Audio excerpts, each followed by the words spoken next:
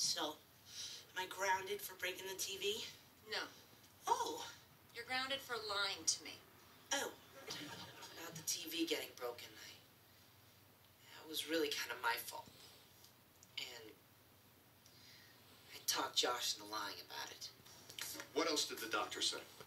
That I should stay in bed and just rest for a couple weeks. Well, that's gonna be easy. Because you're grounded.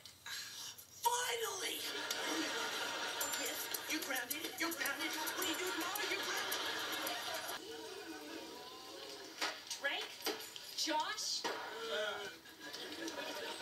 Hey! what up with that? One thing. I ask you guys to do one thing for me. Look at Megan. She's what?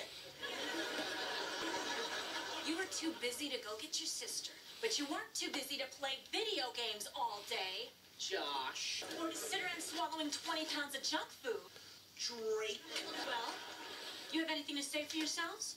Well, the I view this whole incident as a learning experience. Stairs. Both of you. You're grounded tonight. But it's Saturday night. I'm supposed to meet Brian Horowitz at the Magic Palace. Go apologize to your sister, and then both of you upstairs.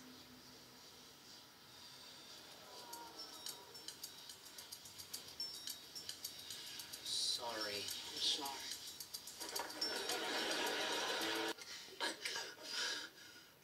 How long are we grounded?